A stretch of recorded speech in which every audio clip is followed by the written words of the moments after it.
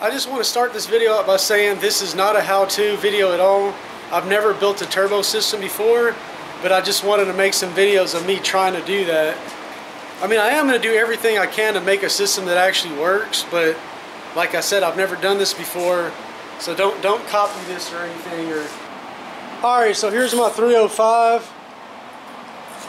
It hasn't been built, doesn't have the crank or nothing in it, it's just the block. I got these up and forward headers, and what I'm going to do is try to build a turbo kit. I have this flange right here. Ooh, look how smooth it goes in there. Alright, so the goal is to mount the turbo about right here where both of these pipes are going to go into these two, uh, into this flange and the turbo is going to mount up like that. It's going to mount about right here. So what I got here is a piece of quarter inch steel and I'm going to shape it like that kind of. And then I have this bracket. I'm going to bolt it right here to this to the water pump right in, right, right in front of the uh, right in front of the bracket for the alternator. So what it's going to end up doing it's going to end up bolting like this and then this is going to be this, I'm going to cut this off somehow like there and somehow I'm going to weld this together. Of course I'm going to have to put some kind of gussets on it or something but that's the general idea. So we're going to start out by making a cardboard CAD drawing. I'll be back whenever I get that done. Alright after a few minutes of fitting this see how that fits in there real nicely goes all the way to the end. You can even see my circles. All I did was push on it. Here goes a piece of quarter inch steel. I just traced it out right there. And then on my other bracket, I figured out that I'm going to cut it here and here to trim it up to, to start out with. I'm going to have to trim it up more than that, but that's where I'm going to start out. All I'm going to do is use an angle grinder with a cutoff wheel and of course face mask face shield, whatever you want to call it. All right, after grinding a little bit, I got my I got my bracket made. Nice radius corners. Oh, that's not even flat. Anyway, I guess because the angles it happens to fit better like this, it goes down a little further. So, I'm going to go to the back of it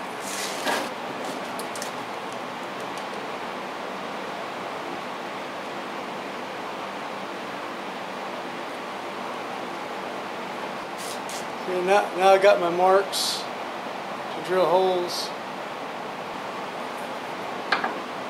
Center punch. Center punch.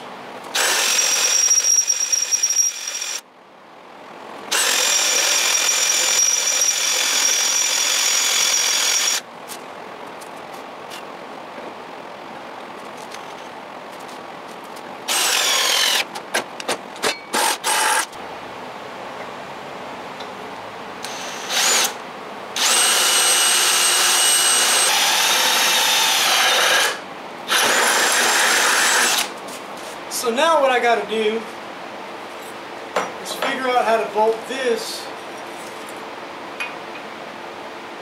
right here and weld this on to hold the turbo. and welding this bracket on, that's really stupid. I, I, I got to figure something out how to make that work. Anyway, there goes my bracket. I'll be back whenever I got this figured out and it's ready to weld it. But I figured that I would just just uh, weld it right here. I get about an inch of weld on both sides, and that should that should be enough to hold that turbo up. You know, because the pipes are going to hold it up a little bit too, at least.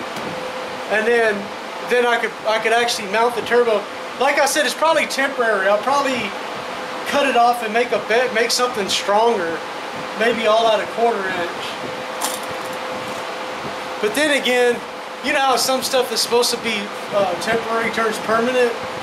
I, I don't know. I just I'll just see how it feels, how much it moves around, and judge it by that. Look at this old crusty, crusty uh, filler wire. Look bit too crusty. I don't know. I set my machine to 124 amps. Uh, hopefully I can make a decent weld.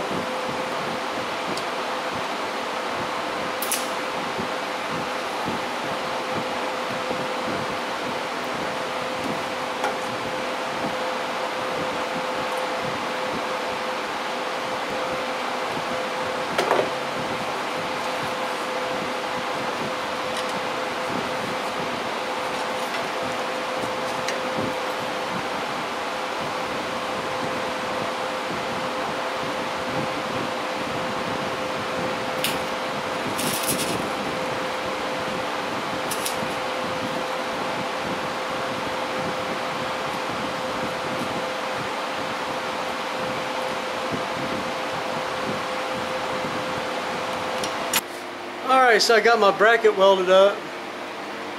Two crappy welds. It should hold. I mean, it's only 38 pounds.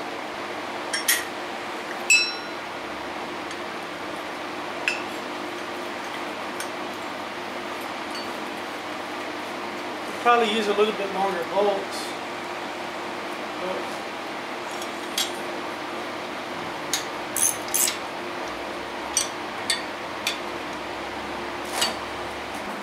But Alright, so this is where I'm at. I need bolt. Th these are threaded holes that I have to use them. I just have these bolts in there just to kind of hold it in place. So the idea is that that bracket I made is going to hold my turbo in place while I do the pipes.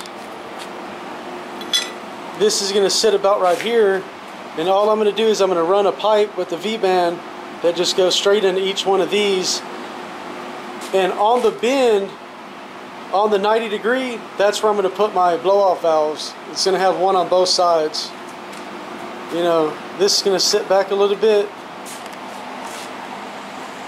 This is actually probably a really bad idea because it makes your turbo stick way too far forward and the radiator is going to have to be moved. But I'm going to have to stop right here to go get some bolts. Another reason I wanted to make this video is to show people that a normal person that really doesn't have experience can actually do this. You know, I, it was, it was a, maybe like a couple of years ago I bought my first TIG welding machine and since then I kind of off of YouTube self-taught myself how to do aluminum. I know it's not that great but you know I think I think it'd be good enough for this. I've been practicing on some stainless you know, really not that great either. Also, I noticed that everybody on YouTube, all the all the good fabricator guys that, that do stainless, they always use a giant cup. So I did order a number 12 uh, Furick cup and a gas lens kit because like the this is this is a seven a CK17 torch and I'm pretty sure this is a number 8 cup and it's just too small. It, I think it just doesn't give good uh, good enough gas coverage. And on my next video, whenever I whenever I start doing the pipes, you know, I'll do a comparison on welding with this versus my new uh, number 12 Furick cup that's going to come in the mail pretty soon. So yeah, this bracket is somewhat temporary, but it might end up being permanent because it, it does add a lot, you know, add a lot of stability to the turbo, especially like once you put the pipes on it. You know, it'd probably be pretty rigid and uh, I don't know, it, it, actually can flex side to side a little bit. I kind of did that on purpose. I wanted it, you know, the, the bracket to be just a thin piece of sheet that, that sticks up that can hold a lot of weight but kind of move like it does. like it, And that's the part I'm talking about why not to copy this and, and, and why this is just for entertainment purposes. It's not a how-to because I don't know how the exhaust is going to move when it gets hot. Um, the bracket might cause it to break. I don't. I really don't know what it's going to do. So you know, so I'm kind of worried about that. But there's only one way to find out is just to go ahead and do it. You know, it might fail, it might not. Who really cares? Um, the only thing to do is to learn, you know, do it, learn from your mistakes, and then someday I'll probably be able to build some pretty good turbo kits. Anyway, so that's what's been going on in the garage. Uh, I'm still trying to save up money to actually build this engine. Anyway, if you found this video uh, entertaining, please like and subscribe. The end.